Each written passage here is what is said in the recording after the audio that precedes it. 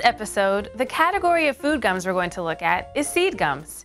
In our first video, Matt and Maureen provided a little background on food gums as a whole. If you'd like to watch that video for a quick introduction, click the link in this video or in the description below. Seed gums are considered to be ancient grains, and they've been used for centuries in a variety of ways.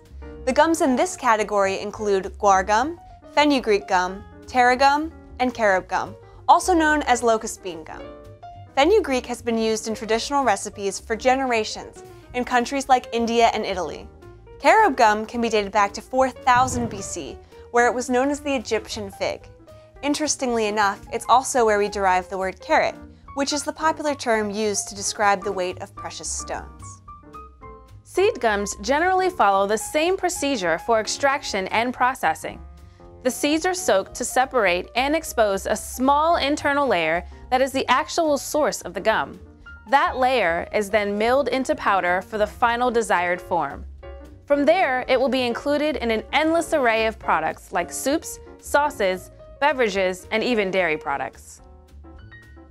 Out of this list of seed gums, the one you're more likely to recognize is guar gum.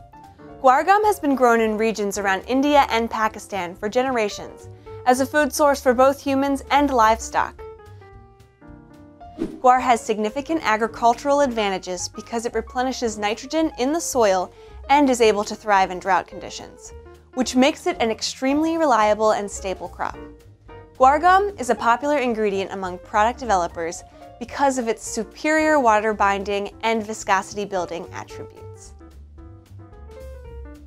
So you might find yourself asking, why is guar gum in my ice cream? That's a great question. Because of guar gum's water binding ability, it keeps products consistent throughout what we call freeze-thaw cycles. Here's a quick explanation of that cycle. Through the various stages of production, transport, stocking, and final placement in your home refrigerator, the ice cream experiences periods of warmer and colder temperatures. As your ice cream softens and refreezes, its texture and stability changes, and guar is the key ingredient that keeps that ice cream consistent. That way, the product quality you experience at home is as close as possible to what you find on the production line. So to wrap up, in this episode we were able to touch on a new category of gums, as well as look at the beneficial characteristics of guar gum, one of the more recognizable seed gums in this category. If you want to learn more about food gums, then check out this book by Andrew Heffler called Hydrocolloids. It may get a bit technical, but it's a great overview of common hydrocolloids. Also, there are some online journals you can reference, and again, they can get technical, but don't let that stop you. We hope you found this video helpful and perhaps presented a new perspective into the world of food science. Thanks for watching.